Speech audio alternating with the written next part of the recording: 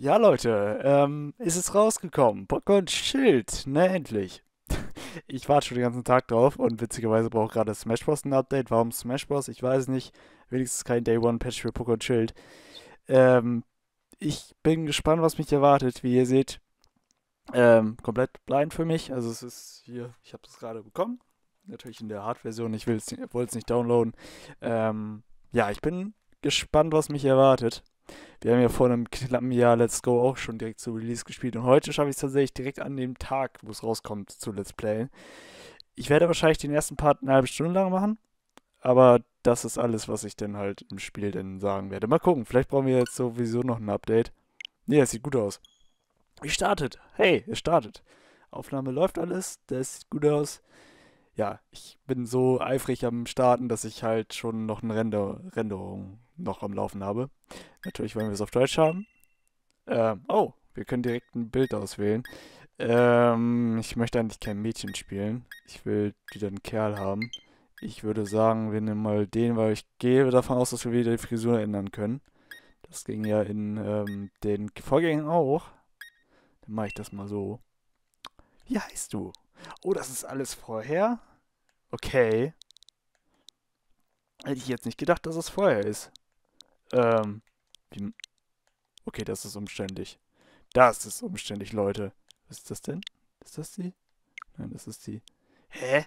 Was ist denn jetzt? Achso, da, L und R? Hä? ich verstehe das Ding nicht. Äh, ähm, Symbole will ich nicht. Ich will hier Deutsch haben. Da, Deutsch. Ah, Dankeschön. Hä? okay, das Spiel fängt schon an, mich zu verwirren und wir sind noch nicht mehr drin. Ich nenne mich mal ganz klassisch Tristan. Ich wollte, hatte erst lange überlegt, ob ich mich TK nenne. Na gut, ich habe nicht lange überlegt, ich habe das gerade so spontan entschieden. Ähm, nenne ich mal ganz klassisch Tristan, weil ich mich immer an Pokémon Tristan nenne. Wie weit geht das hier? Okay, gut, zwölf Zeichen. Ich habe schon gedacht, dass man die ganze Leiste vollballern kann. So, okay, starten wir das Spiel. Ich bin Tristan, zwar nicht blond, Moment, doch, eigentlich bin ich gerade blond, aber ich will, wenn schon, gucken, dass ich die roten Haare wieder habe. Wir haben eine ultra stylische Hose, sehe ich gerade. Wir haben aufgestützte Jeans. Ein Trend, den ich nicht ganz nachvollziehen kann, aber wir haben, wir, wir starten mal. Ja, die, du kannst später nicht mehr gerne werden. Ist okay. Die Wahl der Sprache? Registrierung abgeschlossen. Dein Spielfortschritt wird automatisch gespeichert. Das sind, sieht aus wie Cognitos. Das da unten ist. Okay. Oh, das ist eine eigene Sprache.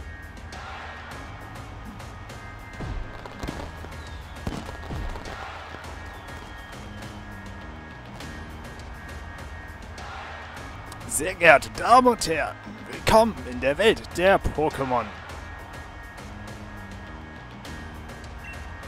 Die Galar-Region ist ein wunderbarer Ort voller unberührter Natur und bezaubernder Schätze, äh, Städte. Ein fantastisches Fleckchen Erde, auf dem wir in Einklang mit zahlreichen Pokémon leben. Und genau um diese Pokémon geht es hier. Aha. Oh. Ein neues. Wundersame Lebewesen, die aus unserem Alltag gar nicht mehr wegzudenken sind. Ähm, habe ich jetzt das übersprungen? Pokémon leben überall um uns herum. Ich habe, glaube ich, einmal zu schnell gedrückt. Tut mir leid. Manche Pokémon wetteifern miteinander, indem sie die Pokémon, die sie trainieren, äh, manche Trainer wetteifern miteinander, indem sie Pokémon trainieren, indem sie die Pokémon, die sie trainieren, im Kampf gegeneinander antreten lassen. Wir kennen sie alle als Pokémon-Trainer. Ich weiß nicht genau, was er gesagt hat. Ich habe irgendwas falsch. Oh, ich habe mich ja noch gar nicht vorgestellt. Mein Name ist Rose. Und ich darf Ihnen nun den allerstärksten Pokémon-Trainer von Galar präsentieren. Es ist Zeit für einen Schockkopf unseres Champs. Delion. Oh. Das ist cool präsentiert.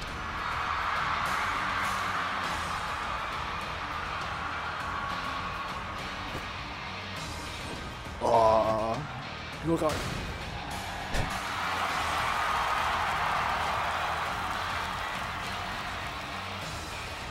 Verschaff dich schon mal von deinem Spitznamen, Delion der Unschlagbare. Das hättest du wohl gerne, ich verliere nie. Durak Dynamax.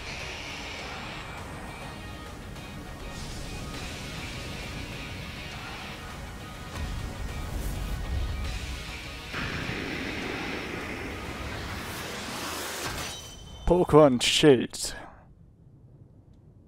Ah.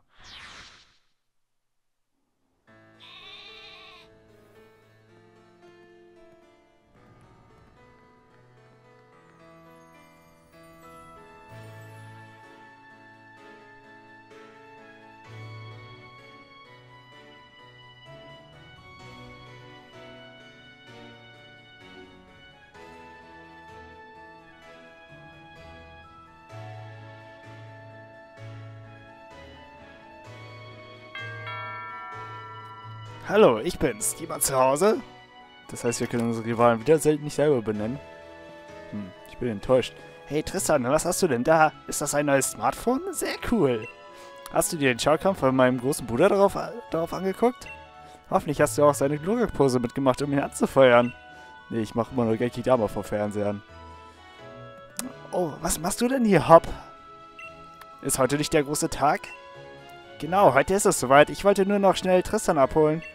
Das Match kann, es, kann er sich ja später noch ansehen. Ich nehme sowieso alle Kämpfe von meinem Bruder auf. Also komm, lass uns gehen.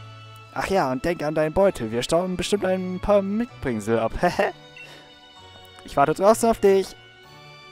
Hm? Okay. Gut. Ähm, dann wollen wir doch mal aufstehen. Also wir sind Topmodell, wir haben schon ein Smartphone. Oh. Krass. Hallo, Mamfaxo. Ja, was haben wir denn hier alles? Wir haben hier ein paar Bücher. Hier sind viele Bücher und Zeitschriften über Pokémon. Ähm, und Fernsehen läuft aus. Mama sieht sich auf diesem Fernseher gerne ihre Comedy-Serien an. Und meine Reise muss weitergehen oder losgehen. Ist das? Ich glaube, das ist kein Evoli. Ich dachte das. Ähm, wenn, wenn es euch stört, ähm, tut mir leid. Ich werde mich das, mir das Spiel sehr genau angucken. Also ich bin da tatsächlich immer sehr affin bei Pokémon dagegen. Irgendwann werde ich keinen Spaß mehr dran haben, die Bücherregale anzuquatschen, aber Mal gucken. Okay, da unten kommen wir raus. Haben wir kein eigenes... Doch, haben wir. Das ist unser Zimmer. Wir haben keine Spielekonsole. Wo ist mein... Doch, da. Da ist die Switch. Neben dem Fernseher steht die neueste Spielekonsole. Ja, die Switch. Der Fernseher der neuesten Generation. Er wurde zusammen mit der Konsole gekauft. Okay.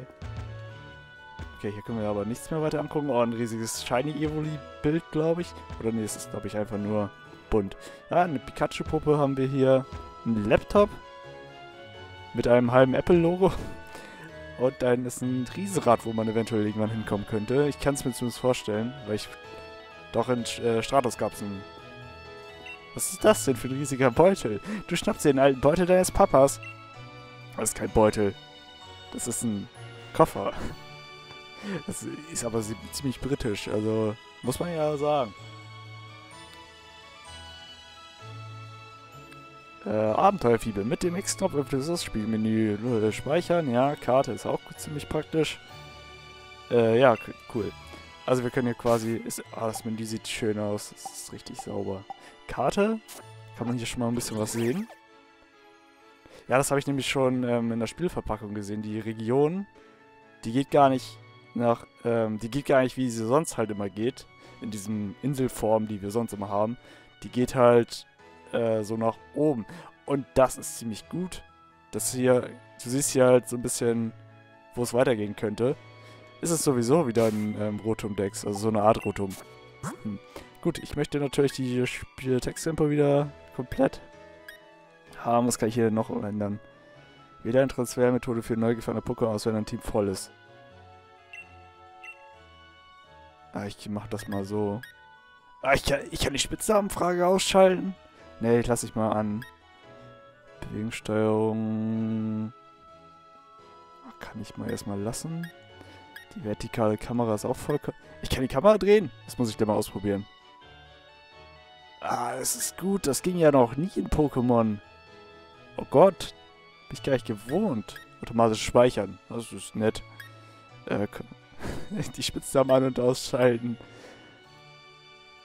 Ähm, Komfortsteuerung ist ja die eigen, eigenhändige Steuerung.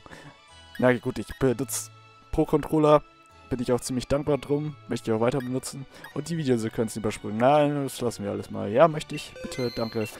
Gut, was haben wir hier noch? Speichern ist klar. Furlong Furlongham. Okay, das ist äh, tatsächlich relativ britisch, klingt das. Exquisit. Habe ich denn irgendwas? Ich habe sogar Tränke schon dabei. Und Basis-Item. Abenteuerfibel und eine Angel direkt. Alles klar, gut. Na gut, ich habe die wahrscheinlich von meinem Papi.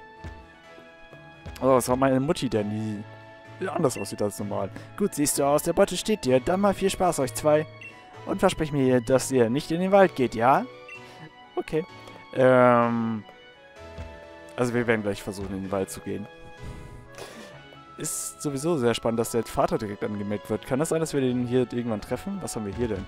Wahrscheinlich ist das das Zimmer von... Entweder ist das eine Abstellkammer oder das Schlafzimmer meiner Eltern. Vielleicht haben sie sogar mal eins. Oder ist es eine Toilette? Ah, oh, müssen wir auf der Toilette schlafen. So. Ja, ich bin auch... Achso, es ist ja ah, Ladebalken. Gut. Nett. Nett.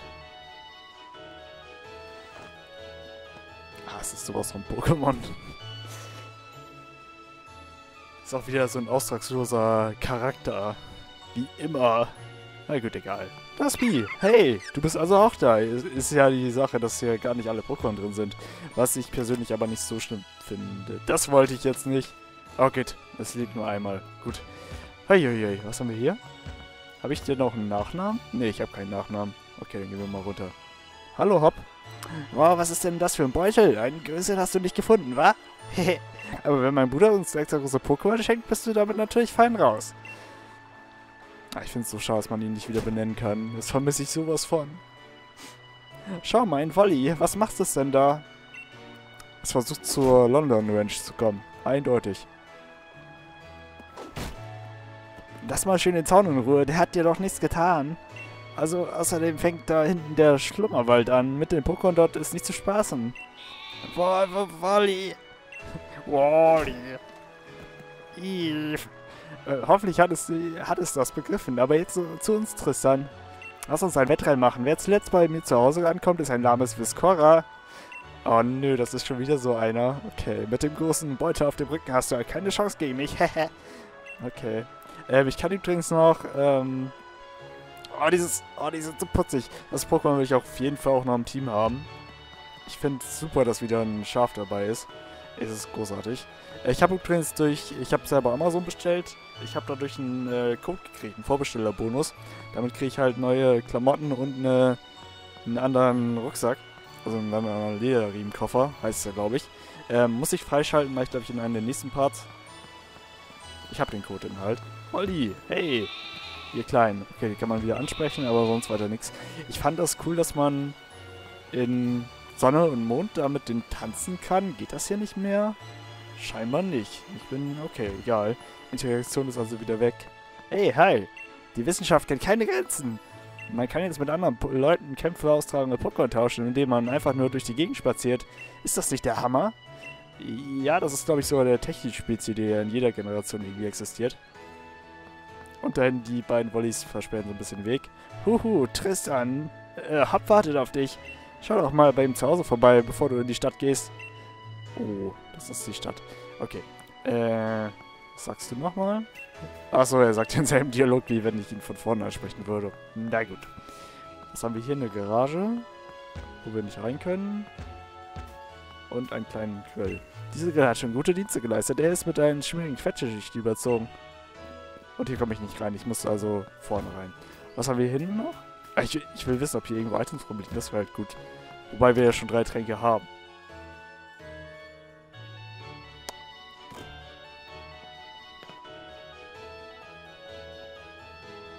Ich bin wieder da, Mom.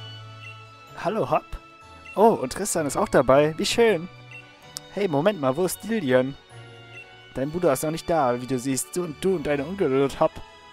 Aha, das ist so ein typischer Rivale. Geht mir jetzt schon auf den Keks. Aber sein Zug sollte jede Minute am Bahnhof von Bresbury ankommen. Aha, dann gehe ich ihn besser abholen. Dillian hat einen schrecklichen Orientierungssinn. Bei ihm weiß man nie, ob er den Weg findet. Da hast du leider recht. Wenn du ihn abholen könntest, hätte ich eine, keine Sorge weniger, Hopp. Ach komm, du hast meinen großen Bruder immer noch nicht kennengelernt, stimmt's, Tristan? Wir wohnen direkt nebeneinander. Ich... Naja. Äh, das müssen wir unbedingt ändern. Und komm, lass uns zusammen nach Bresbury gehen. Ich warte draußen auf dich. Er ist ein typischer Rivale. So richtig, richtig Klischee. Und hier geht's wahrscheinlich nach draußen in den Garten. Auch er? Doch, hier geht's ja noch weiter. Oh, da ist ein Fililo. Hallo, kleines Kätzchen.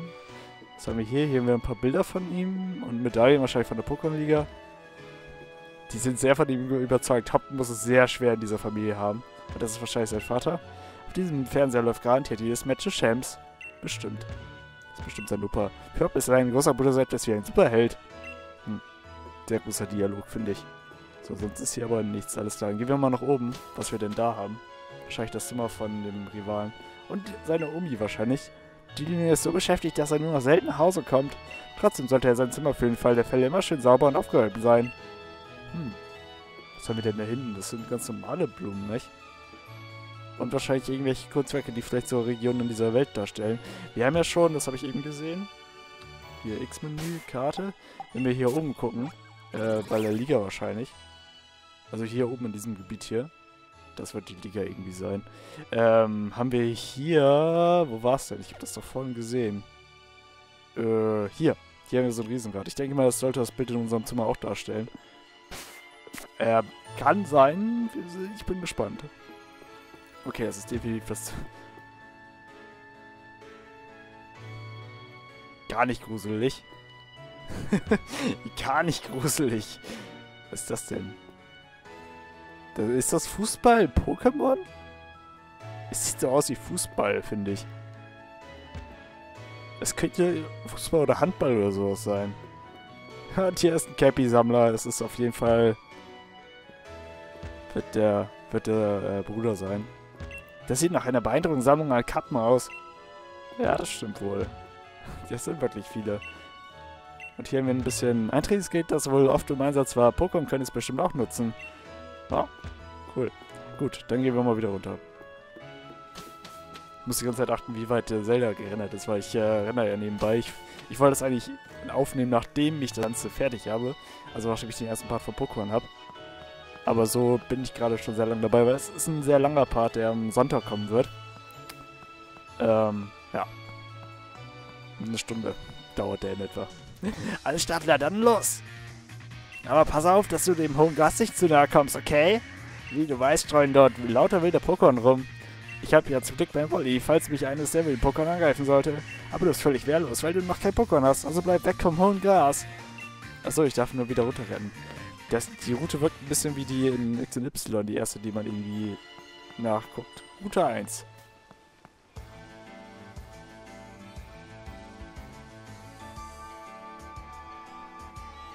Ja, ist okay. Ich will da ins Chaos rein. Wenn du kein Pokémon hast, solltest du lieber nicht... Oh. Okay, gut, dann gehen wir mal weiter. Was haben wir hier? Okay, da kommen wir nicht rüber. Ich fände auch schon in den Trailern, dass die Region sehr schön aussieht. Ich mag das sehr gerne. Und da ist noch mehr Gas. Okay, da darf ich immer noch nicht lang. Mann. Okay, was haben wir denn hier hinten? Raspberry. Ach, er ist schon da, der, der, der Bruder. Der Bruder ist schon da.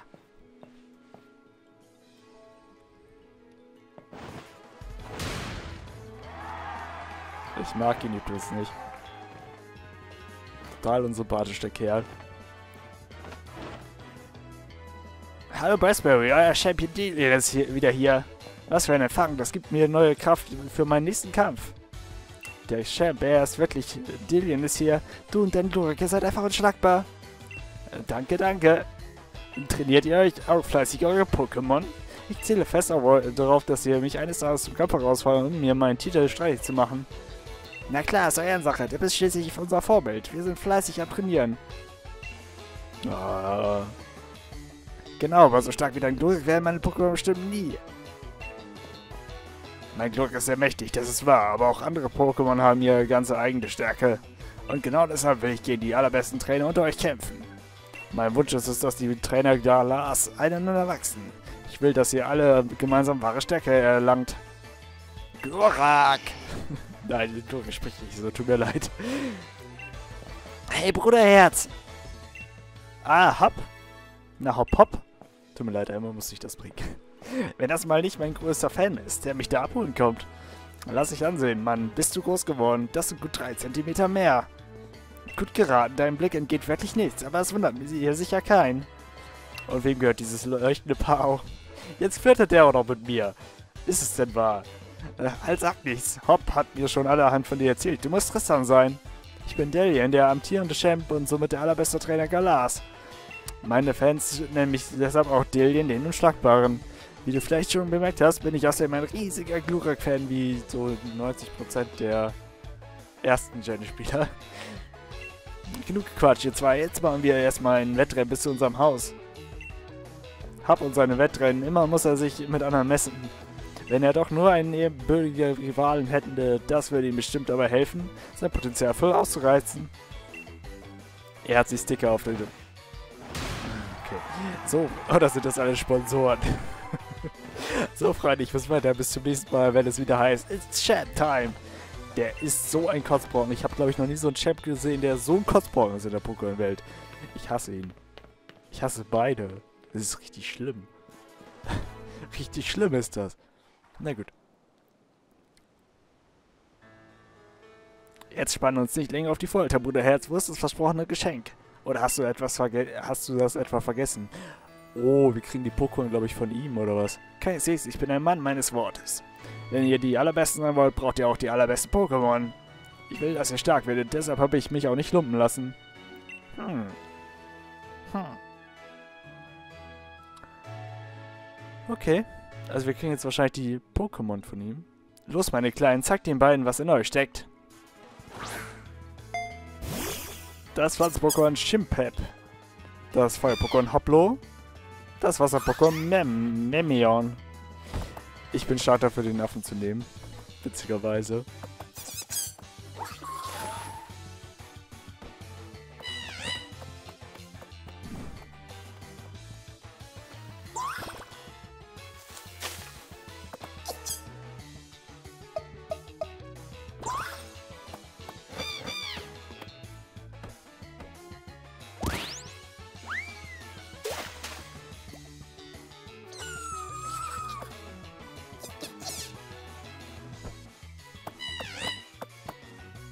Genug gespielt, kommt bitte mal wieder her.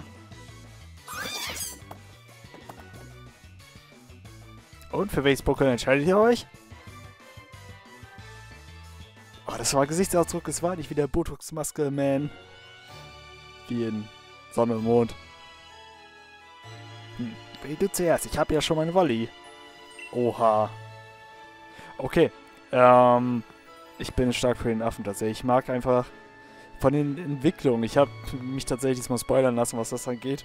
Ähm, ich hab, bin nicht ganz zufrieden mit dem anderen beiden. Der eine sieht für mich aus wie ein Fußballspieler, wenn er voll entwickelt ist und das... Also ich wollte erst einmal die Kaulquappe haben, aber ich fand, ich finde die Entwicklung einfach nicht hübsch. Der, der Affe sagt mir am Ende dann doch ein bisschen mehr zu. Ähm, deswegen werde ich mich tatsächlich für den kleinen Affen entscheiden. Für Shimpep. Ja, Chimpep vom Team Pflanze strahlt die innere Ruhe des Waldes aus. Entscheidest du dich für das Pflanzen-Pokémon Chimpep? Ja, nimm mich, bitte. Gib's mir her. Du hast dich für Chimpep entschieden. Möchtest du Chimpep? Na, erstmal nicht. Ähm, gucken wir mal, ob ich das irgendwann nochmal nachhole. Jawohl! Geil. Das war die klassische Pokémon-Musik. Äh, ah, du hast ja also Chimpep ausgesucht. Gute Wahl. Dann entscheide ich mich für Memion. Du bist ab sofort mein Partner. Er nimmt das schlechter? Seit wann ist das Spiel jetzt noch leichter geworden? Wir werden uns beim Training so richtig reinhängen, okay? Ich will nämlich der beste Champ werden oder der nächste Champ werden. Naja, beides.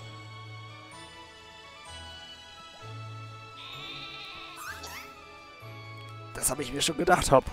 Deshalb habe ich nicht nur dir, sondern auch Tristan ein Pokémon geschenkt. So könnt ihr miteinander wetteifern. Das ist die beste Methode, um stärker zu werden. Wer weiß, vielleicht schafft ihr es ja irgendwann so gut wie ich zu werden. Ich will dir sowas von den Arsch treten. Blöd, Mann. Und du kommst mit mir, kleines Pokémon. Du und Lorik werdet hoffentlich gute Freunde. Es ist strikt und, es ist strikt und stark, aber es hat ein gutes Herz. oh. So, jetzt wird es aber erstmal gegessen. Für ihre Pokémon ist natürlich auch gesorgt. Oh, ich habe einen Schimpep. Okay, der Grill stand da nicht nur einfach so. Hm.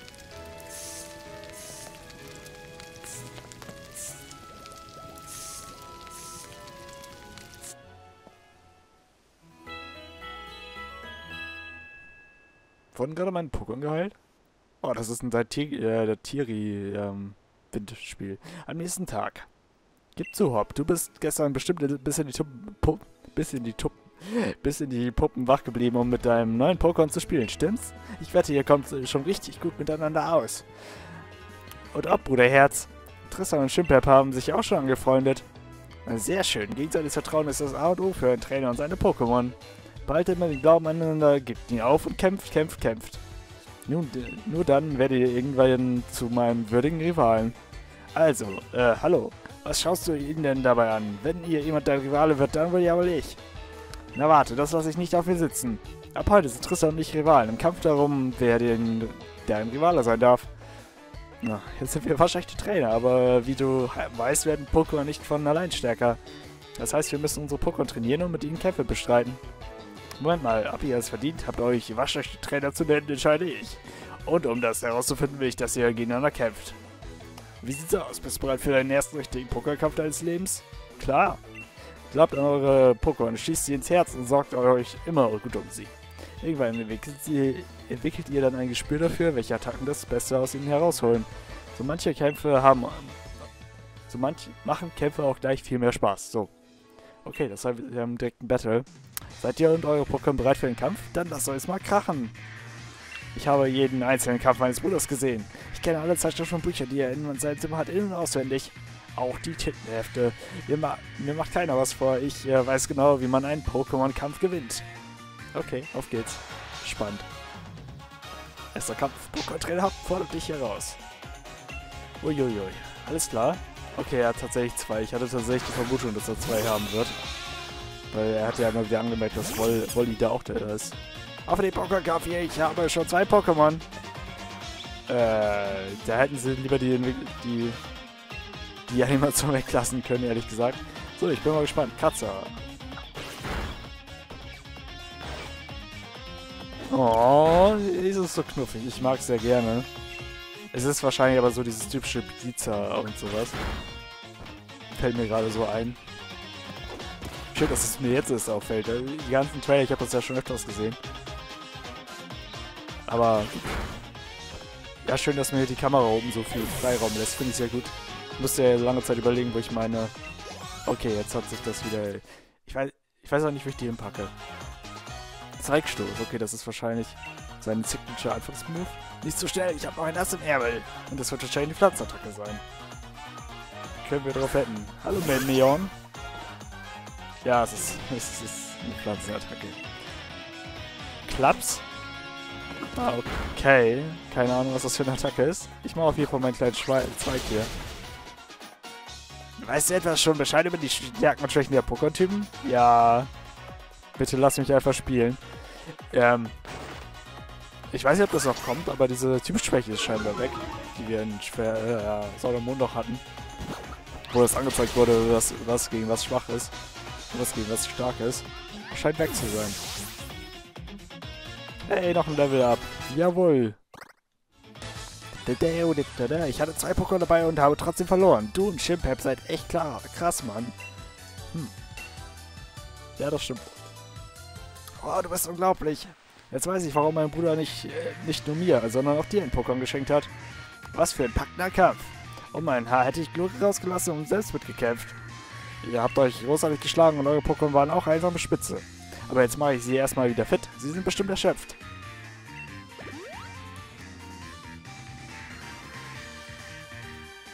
Du hast jetzt echt Talent, Tristan. Deshalb würde ich dich gerne um etwas bitten. Ich will, dass du Hops Rivale wirst, damit ihr einander wächst und gemeinsam stärker werdet. Ich will noch viel stärker, viel, viel stärker werden. Was sagst du, Bruderherz? Bin ich bereit für deinen ersten Arena-Kampf? Puh, du machst wirklich keine halben Sachen. Du willst also an der Arena Challenge teilnehmen, dem größten Turnier Galas. Wenn das so ist, dann solltet ihr euch zuerst mehr Wissen über Pokémon aneignen. Für Bluttristan, ich schlage vor, ihr besorgt euch einen Pokédex. Ein Pokédex wird euch helfen, die äh, Stärken und Schwächen eurer Pokémon zu verstehen. So gesehen ist ein Pokédex nicht bloß mit Daten, sondern auch mit der Liebe eines Trainers zu seinen Pokémon gefüllt. Versteht ihr? wenn mein Bruder sagt, dass echte Trainer sowas brauchen, dann ist das auch so. Schauen wir gleich im Pokémon-Labor vorbei, um deinen Pokédex abzugreifen, Tristan. Ich mag deinen Enthusiasmus, hopp. Okay, ich sage der Professorin Bescheid, dass ihr kommt. Wir haben wieder eine Pro Professorin. Alles klar. Mein Traum ist es, der nächste Champ zu werden. Den Pokédex kriege ich mit links voll vollständigt. Man wird sich noch lange auf mein, an meine Taten erinnern. Die Legende von Haupt beginnt hier. Du sollst doch deiner Mutter Bescheid sagen, dass wir uns einen Pokédex holen gehen. Ja, das machen wir auch gleich. Ja, Leute, aber das wäre es für heute gewesen. Das wäre der erste Part. Ich äh, finde den Einstieg gar nicht mal so schlecht bisher und ich äh, bin gespannt, wie es weitergeht. Ähm, wenn ihr es euch getan habt, vergesst nicht den Kanal zu abonnieren. Oder mal die Glocke zu aktivieren, wenn ihr es schon habt, weil dann seht ihr nämlich die Videos immer relativ zügig. Ja, und äh, wie es euch gefallen hat, könnt ihr mir gerne in den Kommentaren sagen. Freut mich immer. Ich gehe meistens auch auf die Kommentare ein. Äh, ja, Leute, ich würde sagen, vielen Dank fürs dabei sein. Ich hoffe, es hat euch gefallen und bis dann.